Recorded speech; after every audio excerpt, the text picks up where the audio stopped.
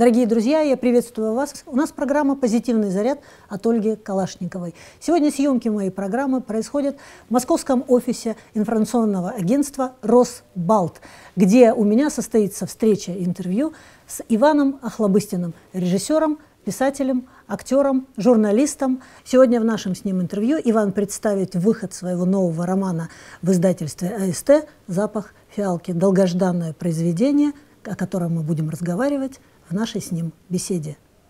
Дорогие друзья, рада вам представить Иван Охлобыстин. Сегодня он выступает в качестве автора вновь вышедшей книги «Запах фиалки». Здравствуйте, Иван. Здравствуйте. Я очень рада встретиться с вами по этому поводу. Повод долгожданный. Волю судьбы я знала о том, что готовится к выпуску эта книга раньше, чем об этом узнали все остальные. И поэтому я ждала сегодняшней встречи, готовилась и не просто потому, что это ваша книга, и вы для меня человек знаковый, и не только для меня, естественно, но еще и потому, что я сделала стойку на название. Угу. Название «Запах фиалки» для меня это, э, в общем-то, по всей жизни проходящее некое явление. Вы человек мистический, я могу в этом признаться вам сейчас искренне. Запах фиалки меня преследует в определенные моменты моей жизни. Он возникает из ниоткуда, он может возникнуть неожиданно в различных местах. Он никак не связан с источником запаха реальным. Угу. Тем не менее, я его ощущаю. Меня это одно время увлекало, потом пугало, потом я стала разбираться, что же это такое для меня лично. Я поняла, что это такое. Это как вот сиреневый цвет в сумерках, это как запах мяты, когда идут воспоминания во времени. А вот явный запах фиалки в атмосфере в определенных ситуациях э, для меня лично теперь имеет большое значение. Я пока не буду говорить, что угу. он имеет для меня. Скажите, пожалуйста, что вы имеете в виду, э, если не брать во внимание общепринятое значение этого слова? Ну, в данном контексте э, в самом романе упоминается, что бытует э, поверье, что во времена афганской войны был, ну вот во времена, не, лучше не так, лучше э, начать с афганской войны. Во времена афганской войны огромную Проблему представляли э, душманы, которые стреляли по нашим вертолетам из пещер и убегали. Mm. Их стингерами тогда э, американцы, значит, обеспечили подспудно. Mm-hmm. Э, и ничего нельзя было сделать, и наши придумали, наши военные придумали следующий метод борьбы – летят ракеты, ударяются об землю, распыляют тяжелый газ, который уходит за несколько секунд э, на нижние уровни, потом активируется огонь и все сжигается как напалмом, там просто э, как это выжженное. Ну, это страшное оружие, да. конечно. А за, за несколько, нет. да, спасения нет. Э, а за несколько секунд, вот поверье, до непосредственно зажигания, до взрыва в воздухе явственно пахнет фиалкой. Такое бывает. Химические э, соединения иногда дают характерные запахи, очень схожие с естественными. Ну, миндаль мы все знаем, да? Да, ну миндаль, Например. да, да, цианид, да, угу. предположим. А фиалка, она же такая, она полутоновая, шлейфовая, то есть непонятно, она вот как волна, она вот, она здесь, ее нет. Вот, это вот очень характерный, кстати, запах. Вот Он такой э, э, э, эльфийский какой такой. Вот интересно, а давало это возможность несколько секунд ощущения этого запаха что-то предпринять? Нет. Для нет только просто люди знали, что сейчас произойдет. Ну, только поверье вот существовало. В данном случае, да, это помогло, кстати. Угу. Вот и в этом романе. В Роман случае, я еще не читала, ну, поэтому... Ну, да, да, да, да. Угу. Вот, в данном случае это помогло, но вообще это поверье, и скорее всего, что это не так. Хотя, кто знает. Исследования там проводили же где-то на боевых полигонах, может быть, кто-то из тонко чувствующих генералов обаял. Да, и зафиксировал, и зафиксировал образом. Да. Вот. Теперь понятно это название непосредственно в самой книге, а вы по поводу запаха фиалки никаких да, других э, значений не, не вкладываете смыслов? У меня разве что детские воспоминания. Я вырос в деревне, и многие разводили цветы. И Фиалки, как правило, они вот по краю забора могли дико растущие, э, там культивированные на огородах. Да, запах вес, Фи... весной. Весна, их любили у всяких э, клубов, э, общественных учреждений, контора деревенская, угу. вот эти э, как вы, высадки. Ну, то есть ну, что-то родное, ваш... родное, комфортно, очень комфортно. Я куда не переезжаю, я первым делом еду куда-то в лес, выкапываю пласт земли, дерн угу. с корнями фиалки, пересаживаю, угу. чтобы этот запах был у меня рядом под рукой. А вообще меня этот запах э, фактически преследует, и я точно знаю, что когда я слышу в воздухе этот аромат, э, у меня происходит некое переключение, возможность э, перехода.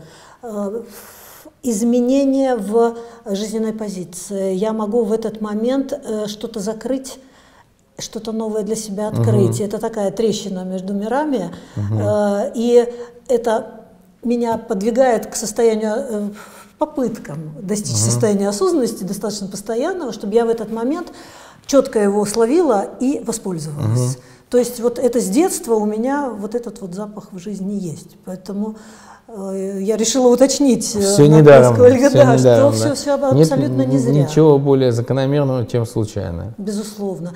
И вот вы сейчас рассказываете о страшном оружии войны, с одной стороны, а с другой стороны говорите о нежных, трогательных детских воспоминаниях, связанных с этим ароматом. И вот, вот этот контраст, он у вас присутствует во всем творчестве постоянно. С одной стороны, э, вы берете тему войны, с другой стороны, тот же э, роман Достоевского «Идиот» и слова князя Мышкина, что красота э, спасет мир для вас, э, это, это вот две чаши весов, да, это угу. вот обратная сторона какая-то. Э, то есть смерть и красота постоянно присутствуют в вашем творчестве. Э, с одной стороны, это степ дичайший, в каких-то вещах это просто. Мы пора... смеемся, мы позволительный Степ, потому что смеемся в первую очередь мы всегда сами над, собой, собой да. конечно. Мы не имеем права смеяться над другими, не сделав первого. То есть сначала смеешься всегда над собой. Э, вы здесь больше смеетесь или э, что тут происходит в этом романе? А, я здесь коротко излагаю, а, коротко излагаю возможное развитие а, отдельно взятой судьбы, которая приведет его к пониманию, что он относится к величайшей культуре, на которую возложена обязанность мира спасения, такой вот э, эсхатологической. Я максимально облегчил э, описательный момент, э, чтобы сохранить динамику, потому что сама по себе мысль, она шокирующая. А многими она а, очерв, как очервлена или нет, как сказать, то есть не, многие испытывают э, дискредитировано. дискредитировано. Она дискредитирована сумасшедшими. А нет ничего плохого в том, что человек может чувствовать ответственность за весь мир. Я вообще уверен, что русскому человеку это свойственно. Это свойственно, он поэтому и виноват да, всегда, да, потому что он понимает, что что-то он где-то здесь да, вот не да, доделал, да, да. раз вот не пошло здесь не об так. этом говорится. Просто ну, молодой человек попадает в наше довольно сытое время, и выросло несколько поколений, а, не испытавших а, дискомфорта, а, соответственно, не переживших а, стрессовой ситуации, которая из тебя делает взрослого человека. И поэтому позже женятся. Это неплохо, они поженятся обязательно. И я думаю, что на каждого выделена своя битва. Каждому рыцарю своя, своя битва. Но, тем не менее, вот последние там, 18 лет все Путина ругают. 18 лет нормально, сыто живут. Да, вот, чтобы там комфортно живут. Неизвестно, хорошо ли это для нас, но, наверное, хорошо, потому что это общепринято, что хорошо. Хотя, с другой стороны... Мы к этому, собственно, и стремились. Да. Нас деды все говорили, мы страдаем ради того, чтобы внуки наши жили лучше. Да. В общем-то, может, вот это вот оно и настало как раз. Это может хорошо. быть, но вот тут тоже странность такая, которую я сам не решаю, а отдаю э, эту возможность читателю.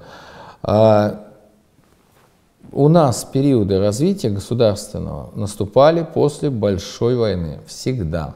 До, заканчивается большая война, у нас идет, значит, взлет технический, культуры, появляются новые течения, какой бы век ни брать, там, начиная с 16 примерно так и было. А, потом начинается усталость от самих себя. То есть мы само, как это, гибель, эльфийская болезнь. Они все время улетали на это, уплывали на свой остров, э, в неведомые края, оставляли если помнишь, мир, да, оставляя этот мир, да, у них всегда вот такая печаль была, что они не могут закрепиться в этой созданной красоте. И опять большая война, и опять, значит, э, рывок, необходимость, рывок, необходимость спасения мира позволяет это сделать этот рывок. Это не хорошо и не плохо. Хорошо это назвать безнравственно, потому что люди погибнут. Плохо это назвать нельзя, это есть, потому что это естественно, вся история нашего государства это подтверждает. Это никак, это природа, это наша закон, закон да? природы. Иван, вы просто предвосхитили мой вопрос. Э, я не обижаюсь, это здорово. Значит, я действительно э, правильно настроилась на сегодняшнюю нашу беседу. Почему через войну? Вот, во-первых, э, вы показываете человеческий выбор, возможность его становления и активизация каких-то качеств душевных именно через войну это есть разные способы, как это можно сделать. Есть разные сильные какие-то ситуации, угу. такие требующие э, очень серьезного такого душевного угу. вложения. Вот. Вы показали через войну, несмотря на то, что все время идет красота, все время идет трогательность некая. Да? Э, что война вот действительно дает такого, что нельзя через какой-то другой образ выявить? Почему это вот э, таким, а, в этих условиях у вас происходит? Мир и война, ну еще Толстой ведь даже посвятил этому огромное свое произведение, а, это два разных мира, а, в котором человек э, проявляет себя, может проявить себя совсем по-разному. А, это калька, которая выявляет все, что э, в тебе есть, то есть как э, Скрытого, да? скрытое, да, раскрывает тебя как музыкальную шкатулку, твою самую главную внутреннюю мелодию заводит. А война проходит здесь довольно деликатно, потому что я считаю, что писать э, книги о войне позволительно либо в документальном варианте, либо тот, кто участвовал в описательном варианте историческом, либо по прошествии определенного времени, приличного времени, когда пройдет первая боль потерь, а, в художественном, но уже с какой-то определенной задачей. Нельзя это делать развлекаловым, нельзя это делать э, из этого... Ну, избыточно ну, романтизируют зачастую. Да, да, да. Нужно быть... Война – это грязь, война – это убийство, война – это насилие, вот. война – это абсурд, война – это... Это плохо. Война – это плохо. Вот что бы там ни было, хотя мы боги войны, но война – это плохо. Мы, мы это понимаем. Иван, э, если звезды зажигаются, это кому-то нужно. Война, значит, тоже кому-то зачем-то нужна. Я э, не говорю, опять же, о таком э, поверхностном смысле, угу. что многие наживаются на войне, угу. да, это выгодный бизнес, как бы это не цинично звучало. Кому это нужно в более широком понимании? Ведь э, многие говорят, вот как Господь может допускать, да, вот такое безобразие, беззаконие на земле. Угу. С вашей точки зрения, вот для чего она? Что она дает?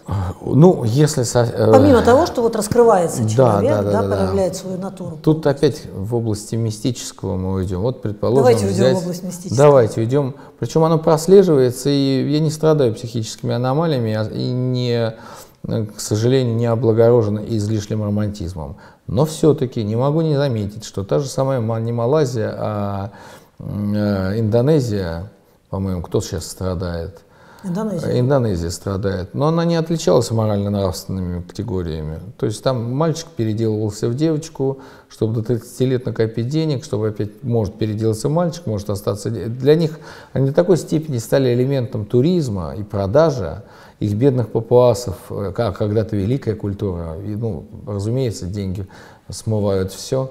Вот, как лава смывают все накопления, и культурные, и душевные, ну, все. В каком смысле смывают вот. все? Да, и, речь не идет э, об очищении здесь. Да, и если наблюдать какие-то изменения крупные геополитические, они, как правило, сопровождаются какими-то изменениями э, природного характера. Это стихии, Тайфуны. Это тайфуны. Многие сейчас вот э, сетуют на появление там климатического. Может быть, но вообще это было так всегда.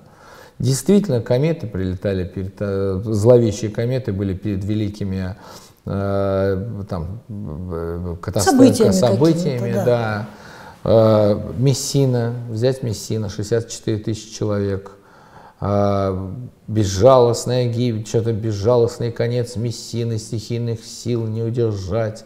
Э, ну, берем поэтов Серебряного века того же. 64 ничего не происходило, просто в одночасье возникла война.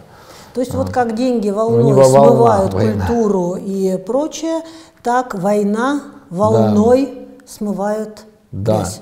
Я вот прям приверженец биоцентристской теории Роберта Ланса. Я считаю, что мы сосуществуем в, в взаимодействии на уровне атомарного все со всем. И что мы из себя представляем в первую очередь? Череду вероятностей, счастливых вероятностей, потому что у нас есть возможность сегодня заниматься элегантной беседой, вот, и, а до этого я очень неплохую, красивую, ну, интересную, во всяком случае, жизнь прожил, и э, много хороших людей видел, книг читал. Да, и это, жаловаться, но да, с точки зрения, э, значит, вот этой конструкции, интеллектуальной кон конструкция, Э, вот эта взаимокомпенсация, она естественна, что э, мы существуем, часть вот летишь сейчас на самолете, и ночью города, они как грибницы, мы и есть грибницы, мы часть этой природы. Да, мы обладающие сознанием, мы уже способны выйти за границы этой атмосферы. Но с другой стороны, вот такая странность. А, Найдем ли мы что-нибудь за границами этой атмосферы? Ведь по, опять же, биоцентристской теории вся, вся атмосфера за границами нашими, вся Вселенная была создана, чтобы создать наш уникальный маленький земной мир, где появятся те же самые думающие, азъесим, через который главный – создатель аз есть, он, Сигналами, э, он да, постигает сам самого себя, он смотрит нашими глазами, мы же по образу и подобию, это под все религиозные какая-то конструкции подходит, это не, не религия, не, это не, даже не философия, футурологическая. Но ну, это не набросок, противоречит да. никаким да, законам да, но я устойчивый сторонник. Да. Я считаю, что э, когда накапливается в человеческом обществе Э, определенный уровень нетерпимости, на нетерпимости зла, вот, тяжелого зла, э, глупости, то это э, будет реализовано и в общественном варианте, и в природном варианте, и на уровне человеческой, там, семейно-личностных отношений. Это сразу взрывается везде. И война, кстати сказать, яркий тому, яркое тому подтверждение. То есть это фактически стихийное бедствие. По сути дела, Которое да, организовано да. просто при помощи людей и того, что люди да. производят технику. Нет ни одной революции, которая прошла бы без катаклизма. Ей может, а, может сопровождаться, да, и быть на другой, на другой стороне планеты, но обязательно будет. Это можно просто проверить методом тыка в интернет. Вот с этой точки зрения действительно становится интересно, вот э, совершенно особый срез получается, да, и вот человек, он пройдет через него, не пройдет, что там останется, что превозбладает, да, он, почему он погибнет, если он погибнет, есть же такое мнение, что погибает тот, кто виноват, вот кто чувствует себя виноватым, тот и не выживает, он сам себя наказывает фактически. Вот если мы создание с определенной свободой воли, Наверное, мы выбираем погибнуть в этой войне и таким образом очиститься. Фактически пламя очищается. Ну, самураи были правы, что в своем кодексе первое, о чем они э, Первое, что они утверждали, что если тебе, у тебя есть возможность выбирать, выбирай всегда смерть. Нет. А почему? Ну, так, если со стороны то это такое позерство. А, очень, очень просто. Если бы мы серьезно рассуждали, принимая то или иное решение каждый раз до такой степени серьезно, мы, мы не делали ошибок, потому что мы можем э, проехать на красный свет в надежде, что... Э, пронесет, да. Да, но если мы будем в этот момент думать о смерти, мы не проедем на красный свет. Ну, э, дедушка Кастанеда, да, нам ну, об этом говорил, да, и да, да, да. дядя Дон Хуана помни, помнит. Да, знания, они ведь системные. Еще Гермес говорил, что наверху, то и внизу, оно вот... Единственное, вот, что спасает, это всевозможность. А, мы живем тем, во что мы верим.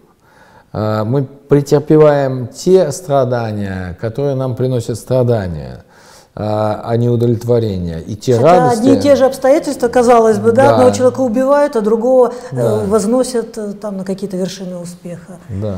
Э, тут я могу да, заметить, что не просто во что мы верим, а что мы ждем от жизни, что мы ждем от результатов дальнейшего нашего шага. Вот это все, в принципе, вот в такой небольшой по объему. Небольшой, э, я бы назвал увлекательный, но это будет нахальство. Я постарался ее сделать увлекательной. Я, знаете, я э, в Авгике же учился, и нас учили, что ты можешь быть сколько угодно художником, но не, ты не должен забывать, что за поход на твой кино, на киносеанс, где будет транслироваться твой фильм, люди заплатят по 30 копеек или там по 20 копеек, что ты обязан их развлечь. Момент развлекательности тоже есть. Есть вычурные образы, которые вот больше к Дик Трейси, если старый фильм американский вспоминать. Но только так можно достичь результата такой персидской сказки приключений молодого человека, не жертвуя при этом его внутренними переживаниями. Ну это, э, опять же, фактически готовый киносценарий, который вас уже выкупила. Э, да, да. Да, киностудия, и, в принципе, фильм мы можем даст Бог, да, даст Бог снимут будущее. без а, вот этого всего, как меда.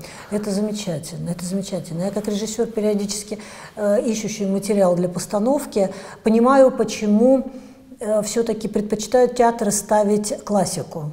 Проблема в том, когда автор жив, начинаются сложности. Начинаются сложности исправления. Их не надо делать. Я поэтому перешел вот в форму из сценария в роман. Это одна из причин. Потому что роман – законченное произведение со своими всеми, ну, вытекающими выводами, там, я не знаю. Угу. Ты так или иначе формализуешь свое отношение к миру.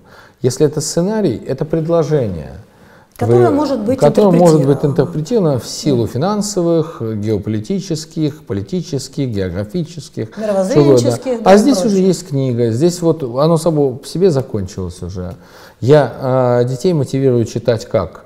Я говорю им, будьте объективны, будьте логичны, практичны и логичны. Вот когда вы слушаете аудио, аудиокнигу, это прекрасно. Вы получаете знания, но кто-то за вас прочел и поставил нужные акценты в нужном месте. Когда вы смотрите фильм, это еще больше работы было проведено, как это должно выглядеть. Когда вы читаете... Какой смысл это должно нести? Да, книгу, процесс, который вы делаете, по сути, это йога. Но можно по-другому назвать это интеллектуальное упражнение отражаясь черное, что какие-то черные каракули на белом листе, отражаясь от листа, отражаются на дне глазного яблока, чтобы потом идти на подкорку, чтобы потом разделиться в районе значит, височных долей, чтобы вернуться в третьей волной назад, чтобы создался визуальный, аудиальный, тактильный вот прям образ. Это криптография. Если ты хочешь повысить свой IQ, есть очень простой способ – читать. Читать. Поэтому э, начитанный означает умный. Как Наверное, правило, ну, в большинстве да, случаев. Да, да. И опять же, ты сам э, придаешь контекст. Э, Тут же да. смысл какой? Ты рисуешь, да, да, да. Ты к этому еще и, и, и э, как свою художественную, находишь собственную художественную Я когда форму. прочитала Робинзона Круза без иллюстрации, я mm прочитала совсем другой роман. Вот те иллюстрации, которые предлагали в самом, ну, mm первых наших изданиях, да, да, которые мы помним. путешествий, да, да, да, да, Прекрасное было издательство, кстати чудесное, сказать. Чудесное, да. да. Но я читала без иллюстрации, это было другое произведение. Ой, а у меня шок был, я прочитал Дон Кихот Ломанческий, до этого были все урезанные версии, mm школьные, а мне папа подарил, ну, как он должен быть, а он же огромный. Да. И да. там очень много исключенных персонажей было и в фильме, и в укороченных версиях. И там он долго путешествовал. Он долго, да, он да, ко многим прям... выводам приходит, таким, э, требующим отдельного да, ознакомления и осмысления. Угу. Э, Иван, вот вы когда первый раз прочитали угу. ваш роман, вот вы что почувствовали? Потому что я понимаю, что писать романы mm-hmm. и читать романы все-таки разные. Знаете, я не, э, определенное, проходит определенное время, когда я как только, вот даже не проходит никакого, как только я отсылаю окончательный вариант, по моему мнению, а, то я э, обрываю связь с произведением и не идентифицирую его как собственное.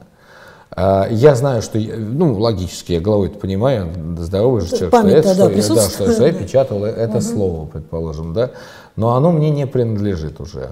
Хорошее или плохое, изящное, корявое, неважно, но это уже мое. Я так ко всему, и к кино так отношусь, и э, любой художественный э, объект, э, в котором я принимал участие, э, дистанцируется каким-то непостижимым образом от меня, я могу быть более-менее объективен.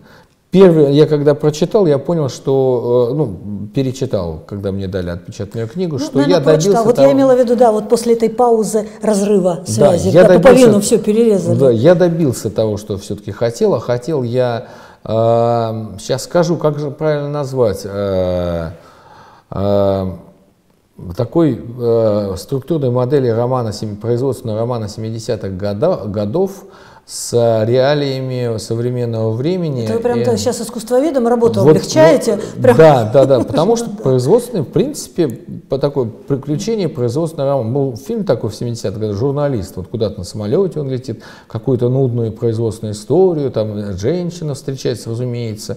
И вот так-то, если брать, оно, в общем, не шедевр, оно э, одна из классических конструкций, из 12 предложенных Шекспиров. Нашего, да. Да. В принципе, реализм. На реализм уже э, значит, наложено, наложен отпечаток личностного отношения к окружающему, бардака, хаоса, смешного где-то, забавного, но, слава богу, безобидного.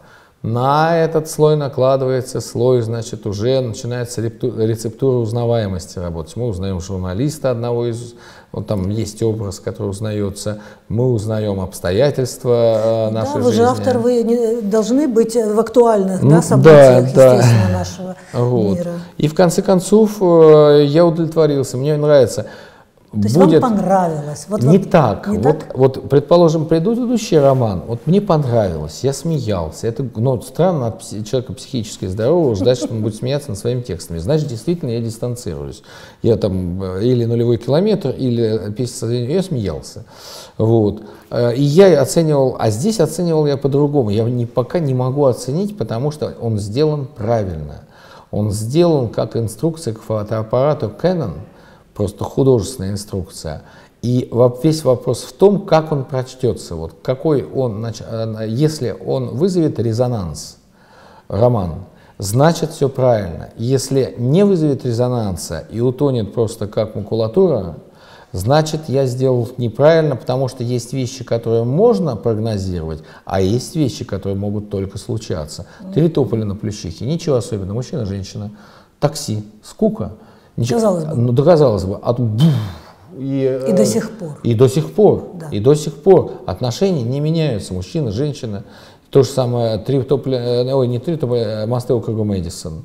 Вот я, следующий роман, я вот, работаю над следующим романом, э, он как раз посвящен этим тонким взаимоотношениям, которым давно не уделяли внимания. Всякой порнографии, порнографии сколько угодно. Я не пуританин, я тушинский панк.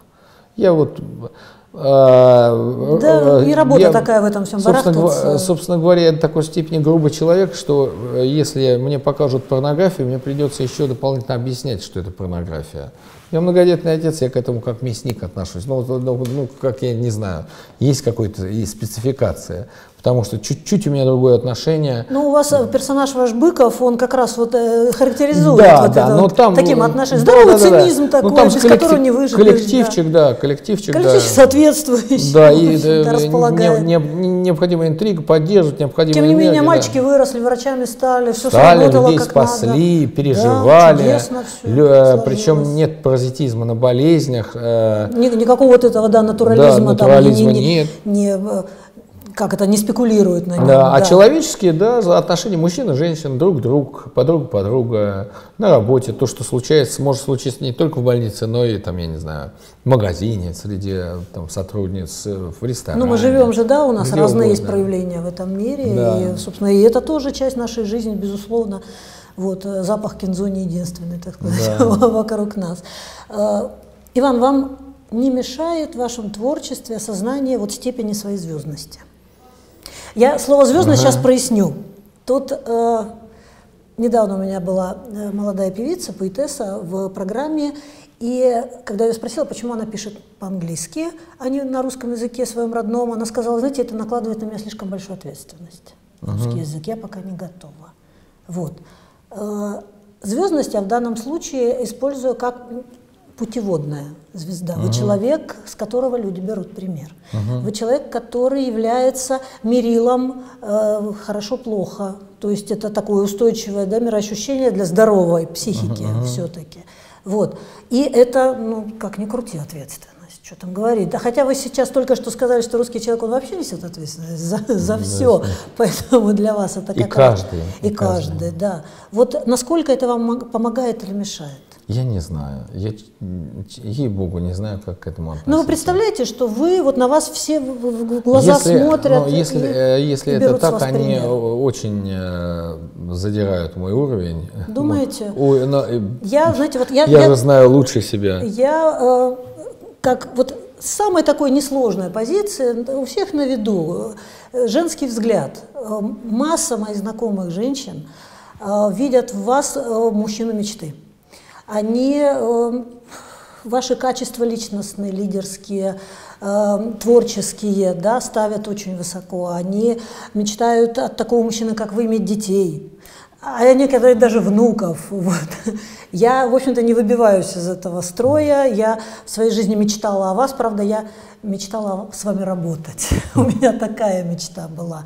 То есть, видите, как вы разнопланово, в общем-то, воздействуете. У меня такое окружение золотое. У меня кого не возьми из компании, вот из таких друзей, которые за десятилетия эти накопились, они очень разные, из разных областей. Я Автослесарь, милиционер, какой-то разбойник, э, певец, музыкант, психиатр, пациент этого психиатра, сосед, компания, веселая. сосед, каша, короче говоря. Но они все обладали э, уникальными э, человеческими достоинствами. И я думаю, что у меня просто, как, если у меня что-то и есть, то это ощущение, которое мне удается передать, наверное, как-то, я не знаю, мистически, ощущение вот этой компании, которая за мной стоит. Потому То что самый транслируете вот общий да, такой вот, да? получается, но если, если есть такие, ну, потому что, э, э, скажем так, э, ни один из нас не идеал, но себя-то я лучше знаю. Вот воистину я не достоин до такой степени вот веры, как э, э, люди, которые испытывают ко мне. И я думаю, что эта вера принадлежит моим друзьям, которые за моей спиной. И девчонки, и ребята, и ну, все, все, кто присутствовали в моей жизни. Мне везло. Мне просто везло. Меня Господь как-то от человека к человеку, от, от самых странных. а, все были, все, ну вот все э, антропологические типы, типы пси- псих- э, психофизические конструкции, все разных Какое ситуаций. богатое у вас э, насле- обу- обучающее, что ли, да, поле. То есть вы Да, да, да, действительно да, так да. гра- грани свои шлифовали разной степени Да, да, шку- да. шкуристости, в общем-то. Да, но это путь Так что вот э, это вот моя сила в силе, как у джедаев, это вот э, ночь, стоящая за моим, э, комфортная ночь, Замечательно. стоящая. Это вот то, то, как я видела ответ на вопрос, просто вот развернули и посмотрели с другой стороны, телескопически. Спасибо вам огромное. Иван, э, как не грустно, но надо сворачивать нашу с вами беседу. Тем не менее, я рада сейчас э, проанонсировать ожидаемую в ближайшее время встречу еще одну замечательную с вашим участием, с участием замечательной вашей супруги Оксаны 15 числа. Э, Если я не ошибаюсь, в Геликон В Геликон опере опере, да. у вас будет прекрасный поэтический вечер на стихи поэтов Серебряного века. Я рада представить будущую встречу с вами, творческую. Вы будете на ней не один, вы будете со своей супругой Оксаной, которая уже 20 лет не появлялась на публике. Вы будете представлять поэтов Серебряного века в Геликон опере в вашем совместном поэтическом вечере. И это для нас радость, для нас это замечательное событие, которое мы ждем с радостью в 19 часов вечера э, все желающие могут присутствовать и разделить это замечательное сейчас событие. посвятить. Я Оксане когда-то говорил, что обязательно, как мальчик, растлю ее. Придется, это придется сделать. Только пока поэзия получилась, но она прекрасная актриса на самом деле, в ней есть качество. Я помню ее роль, да, она поразила будет- меня, и я ждала она продолжения. Она будет добиваться результата, все равно, сталь вари- варить, детей рожать или играть, чтобы было вот прям вот Идеально, идеально. да. Она комсорг. Да, замечательно. Это, это прекрасно, что мы э, живем в это время, что вы наши, э, да, те, кто сопровождает нас в этой жизни. И опять же, ну как ни крути, все равно звезды путеводные, да, это обоюдно, мы в вас верим, а вы даете нам эту веру в усиленном я иду к варианте. вам, я как к звездному небу иду, я вот прям Хорошо. Звезда звездой говорит. Давайте будем говорить со звездами. Да. Спасибо вам огромное, спасибо. Иван. С наступающим. Я... Спасибо. И вас наступившим, и с наступающим. Новых планов вам, новых успехов и новых задач. Мы на этом растем. Спасибо. Всего вам доброго. До новых встреч. Да. Дорогие друзья, я с вами прощаюсь. До новых встреч. До свидания.